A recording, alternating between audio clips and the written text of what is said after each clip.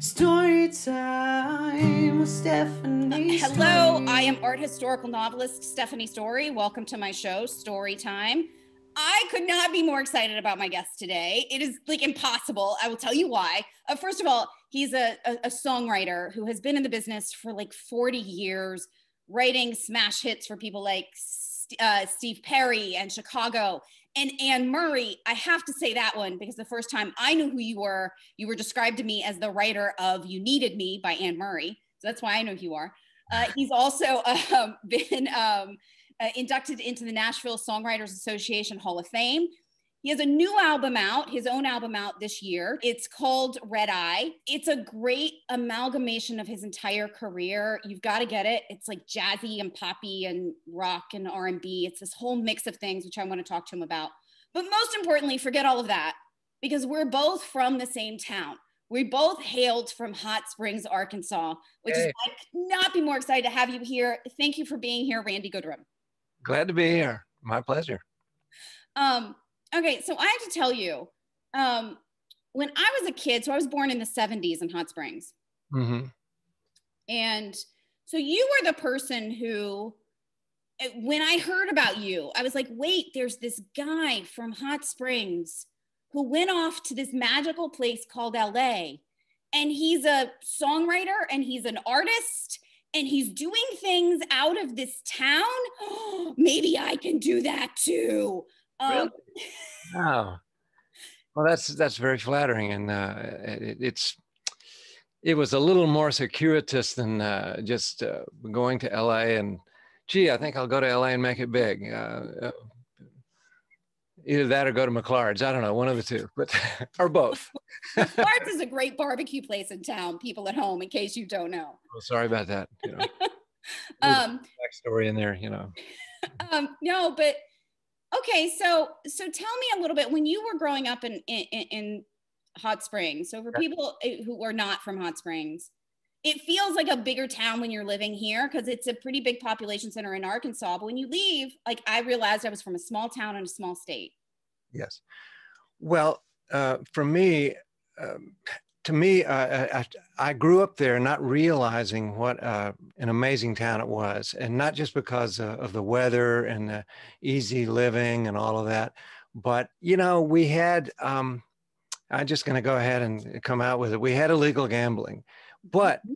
one of the byproducts of illegal gambling is you have a lot of nightclubs, you have a lot of musicians and uh, entertainment and stuff that's going on. And in my, I had a propensity towards um, music when I was a kid. I was playing by ear when I could just reach the keys and on a key on a piano.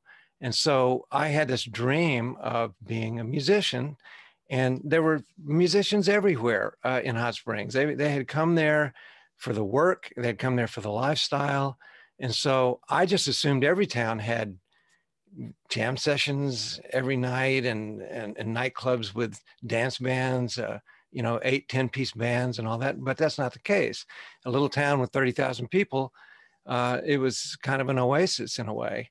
And so uh, uh, even when I would go to Little Rock or, or some of these larger towns to play gigs and things growing up, when I got into that, um, I soon found out that, uh, you know, they had far less of that than I realized. And, and of course, I started I started uh, performing in bands and things at a really young age, so I was able to observe that before I knew any better. Um, but anyway, that's uh, uh, that's the thing about Hot Springs. It's it's a it's a bit of an anomaly. It's not it's not the typical little midwestern southern town that, that one might think. Yeah, that's true. I, uh, it, it, it, it actually makes me think of, of David Hill's new book, The Vapors. It's about that exact period in Hot Springs history when legal gambling took over the town. Did you get a chance to read that book yet? Yes, um, I was in school with his dad, Jimmy. And I knew a lot of the people in the book, especially the locals. Yeah, it's it's like, oh yeah, I was there. Oh yeah, I remember that and everything. And plus, uh, I really learned my trade as a musician largely at the Vapors. the actual nightclub, the Vapors. That was that was a real trial by fire kind of a place to to learn your trade. It, it was a blessing having that there. Uh, yeah, but but but like before, so you go off to college at Hendrix and you're a music major, but before then you were you were in the Vapors or around that time. Oh yeah, I started playing. Uh, well, it's kind of hard to do this in a in a quick way. It, it's very difficult for me to be brief, but I'll try. Um, well, I started taking piano uh, at a very early age, uh, about eight years old, I think. I think, and um, you know, I was I was playing classical music. I was first of all, I was playing piano by ear so much around the house. I think I was driving my parents nuts, you know, and so I started taking piano, and then I sort of stopped doing that for a while because I wanted to again. I wasn't sure that that's what I wanted to do uh, as a, as a uh, career. I was too young to even think about what I was going to do as a career. But uh, eventually, about eighth grade, something like that, I begged and pleaded with my parents. This is, I'm probably the only person on planet Earth that did this. I begged them for me to take piano lessons again. You know, well, I mean, where where is that in reality? Nowhere. And so I, I found this piano teacher named John Puckett. So I took lessons from him and immediately he uh, started dividing the lesson up. The first half was formal, the second half was jazz, or you know, just to put it in simple terms. And uh, that was such a blessing. And he was a he was a taskmaster. I tell you, he uh, uh he taught me so much, not only about jazz, but about the, the the philosophy of. There's an ethic with jazz, which I also use in my writing, which is to be to find your center, find what you have, what you're trying to do musically, resonate with that, and try to build your whatever your bag is. They used to call it a bag in jazz. Whatever your approach is to music, try to try to find out what that is. And it's kind of the same with being a songwriter too. You kind of find out where your core is. Actually, method. I've heard method actors call it a center. You know, they mm-hmm. they look at a character and they try to find what is the center of this character? And then go down and find that and then be that. And so um, I, uh, I, I, I started because I was learning all these old standards and so forth. I started playing gigs around town for experience, um, and so then somewhere along the line, because I don't think there were a lot of people who could play and read as well as I could read music. I started getting calls to work at the Vapors because the Vapors was this serious nightclub that had a, a, a dance band, you know, horns, bass, drums, string, I mean, uh, piano, and uh, Vegas acts would come through there. And they would have these huge, what they call books, like the piano book was was this big thick thing, and when you would go to rehearsal, you, you wouldn't say, Oh, let me look this over for a few minutes if you don't mind. They would say, No, first song, and they would count it off. Boom. You had to read it and you just paging through and and then next song, blah, blah, blah, blah, blah. And so uh, it was it was tough. Nervous. It would make me so nervous. But it was the best kind of training for for the music business in general, I thought. Uh, that I look now that I look back. I mean, because I later on was a studio musician and all that and uh, um, and so all of that came all that vapors experience really uh, paid off. I have to go back and pick up something you were talking about with the finding your center and finding like the method actors calling it their center and, and finding your bag and all that stuff. Because i've been thinking so much about writers finding their voices. I'm a I, i'm a novelist like right. like trying to trying to find and hone your voice as you grow as a writer, I think is one of the most difficult parts of any writing. And I mm-hmm. think it's probably the most important. So, how did you go about trying to find that particular way you were going to see the world? Was it that mix of classical and jazz? Was it was it just following the length of your career? Did it change? I don't know. That's a big, huge question, but I'll have to back up a little bit. I, I understand your question, and here's the way I'll answer: is uh, first of all, I, I was training my whole life to be a musician. I never dreamed I would be a writer, not even for a second. I never, it never entered my mind. When I went to college at Hendrix, we had a real small music department. I mean, really small. And so a friend of mine had been asked to write a musical, a school musical. and he said, "Hey, man, uh, can you help me write this musical?" Uh, and I said, "Well, I'm not a writer." And he says, "Yeah, but you're a jazzer. You know how to make stuff up." And I said, "Okay, well, I'll give it a day." And he said, "I don't have time to do it myself, but if you'll help me, I'll do it." And so I, um, I sat down and we looked at the book. I looked at the first. We, the script was already written, and so we saw this one scene go by, and I said, so this, I thought, you know, this would be, a, maybe we could do a song like blah, blah, blah. So, so I come up with this idea. These guys were at a, a bar or whatever, and they were talking about something. And then something else happens. And I said, well, how about this? And so I realized each one of these situations in the script was sort of like a premise. And, uh, and so I, I immediately, I, I think that's what sort of was, uh, was the first taste of songwriting that I'd done And now I wrote a whole bunch of songs for that musical. They weren't very good, but I had so much fun. And I said, you know, this is kind of like jazz because um, you you I don't know. Uh, it's kind of hard to uh, explain the similarities there, but um, you, you, try to come up with something original.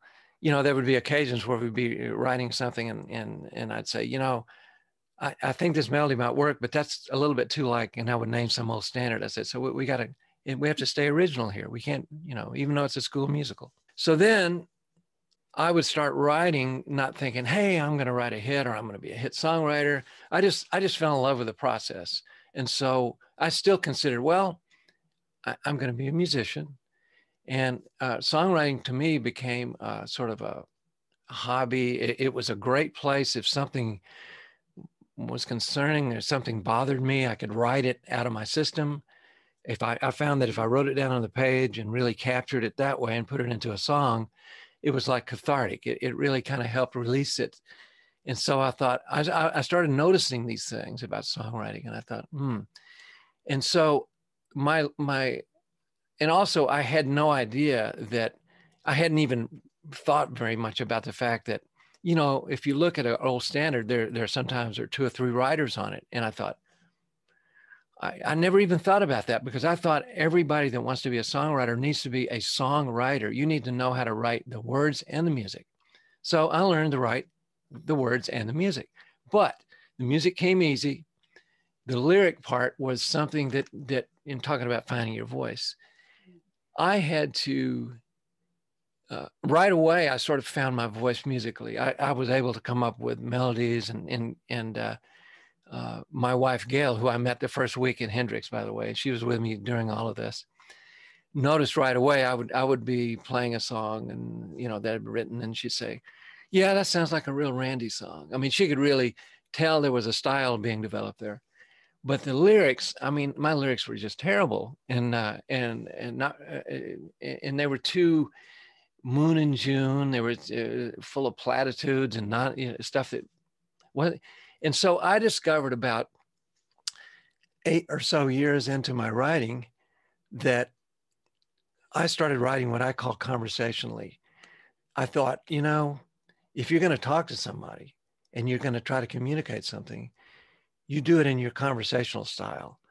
And you usually do it in, in an edited way. You don't want to just rattle off for 20 minutes with somebody that you can say in one line and and so that's when i that's when i started turned the corner and started writing lyrics that i thought you know this is not joni mitchell level this is not uh, jimmy webb but it's but it's way better than it was two weeks ago so i would look back two weeks uh, two months whatever and see am i am i getting better and so that was always my my sort of mode of judging my writing to see if I was getting anywhere. When did you figure out you were a success? Like when when did it hit you? Did it take multiple hits? Was it well, like, like now this is another Hot Springs connection. Uh, there was a friend of mine, a musician who was also a real fishing buddy of mine when I was living there as a kid, who I lost track of for some time. Uh, I, I, went off to Hendrix. Uh, then after Hendrix, I got drafted into the service. Luckily, I got into the Army band. And um, we spent all this time and everything, and I was still writing and writing and writing and whatever, and sort of collecting my little pile of songs. And when I got out of the service, I, I, told Gail, I said, you know, we moved back to Little Rock for a while. I said, I'll just play gigs around Arkansas. She was a school teacher. And I said, we'll have our life. Everything will be fine.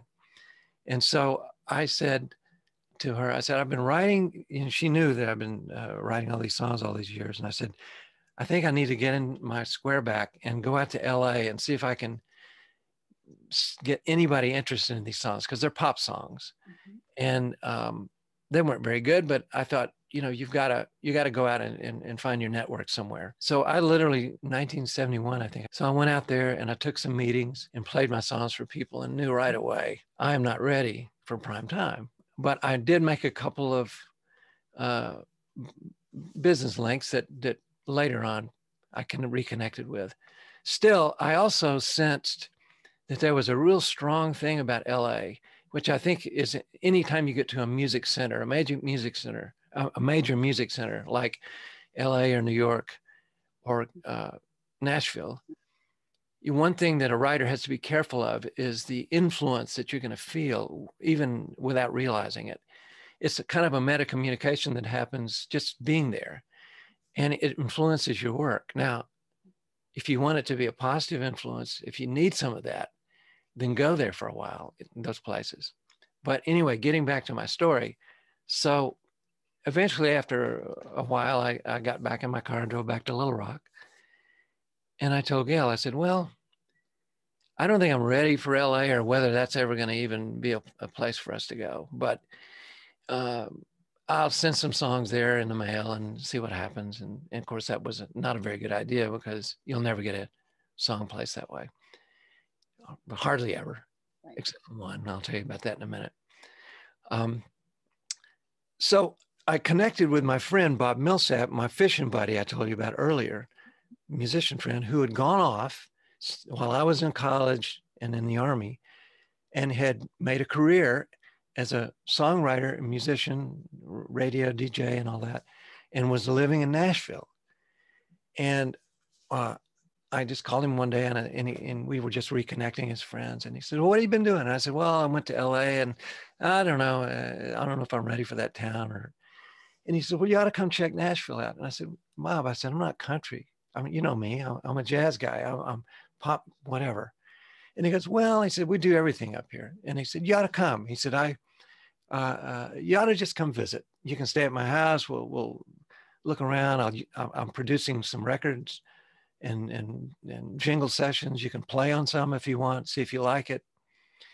So I said, okay. So I went up there, instantly liked the town, and he used me on a jingle session. There was a Hammond organ out there. He said, just go play some chords on that or something and, uh, you know, and have some fun.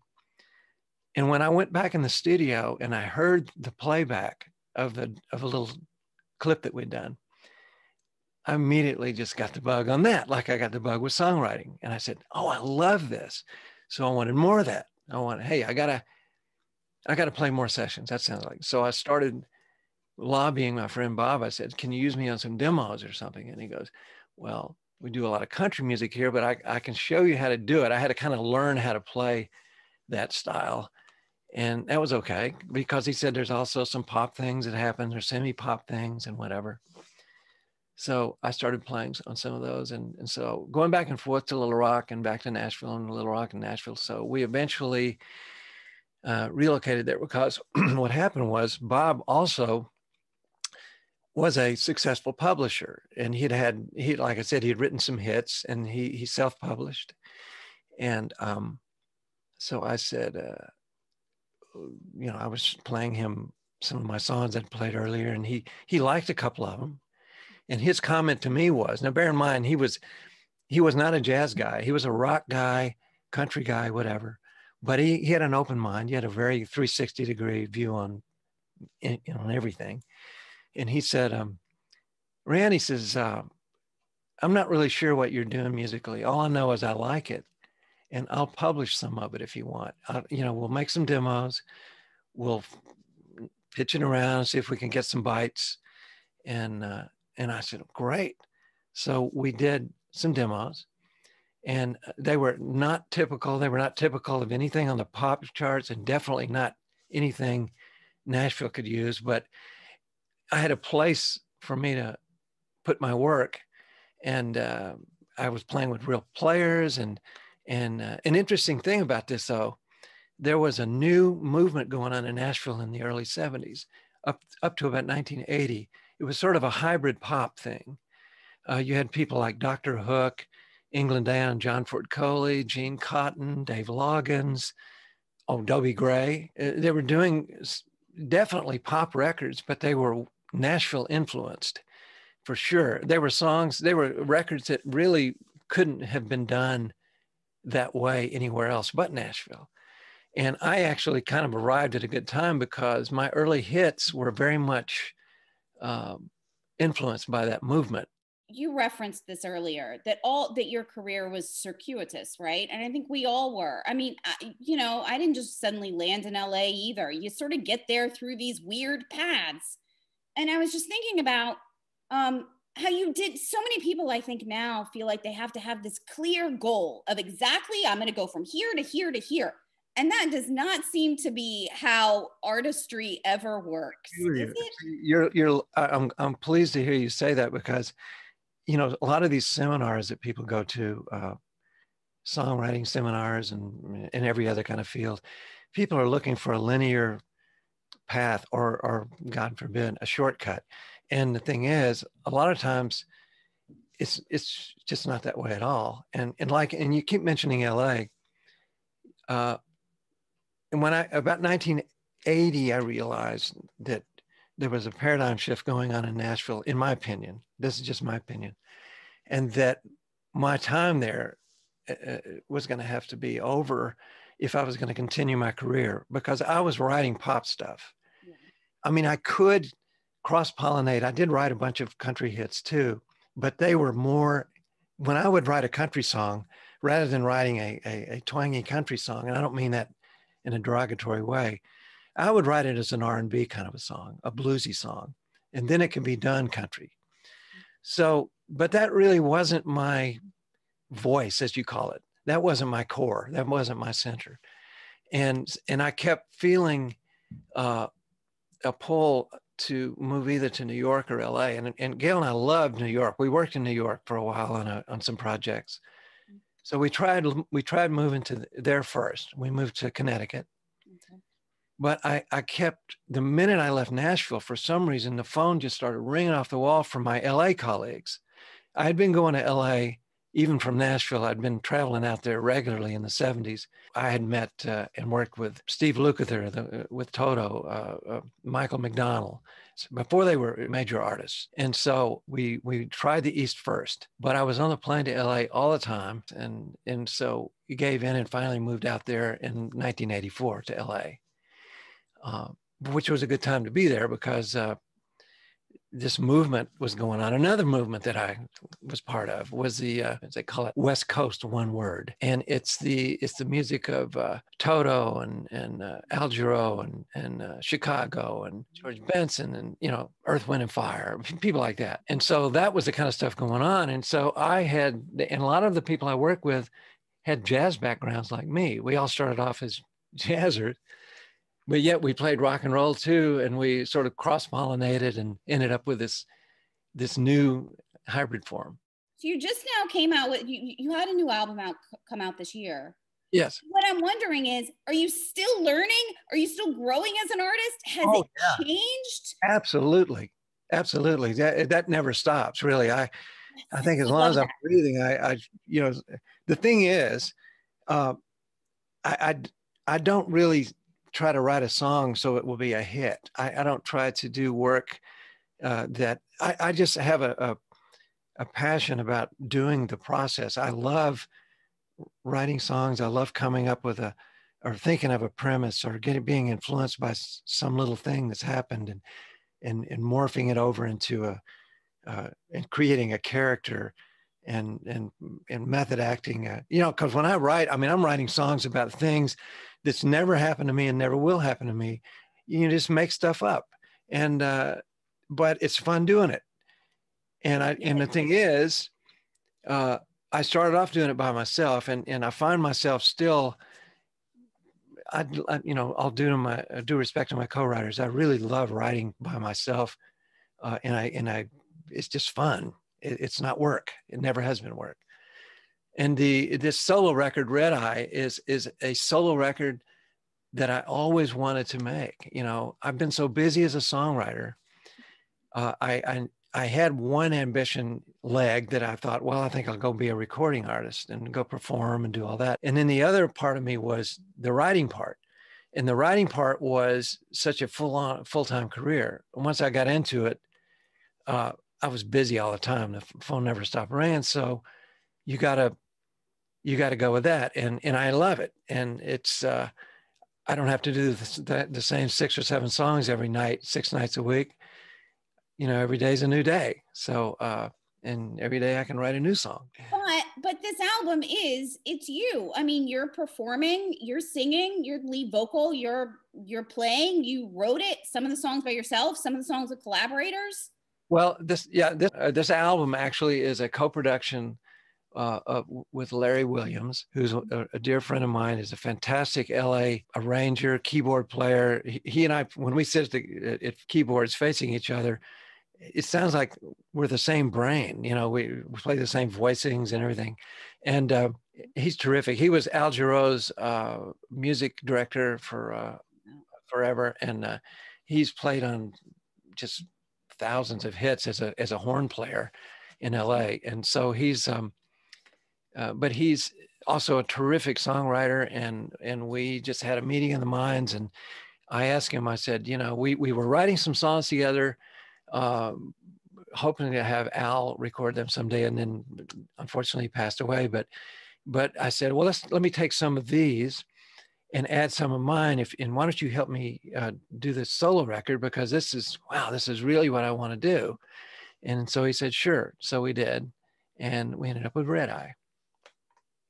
How has it been to put it out into the world? Has it been diff? Is it different, I guess, to put out your music like that in that way than it is as a songwriter it, you know i'm a novelist mine comes out the same way no matter what randy you know i mean it's a book it's a book it's a book you know well you know it's like the difference is when i write a song uh and i'm fortunate if somebody somebody else like anne murray you mentioned anne murray oh by the way i was going to mention uh, earlier i said uh, pitching songs from the mail uh, in the mail is a bad idea from Little Rock, to whatever. Yeah.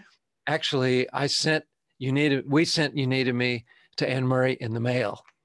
That's how she got it.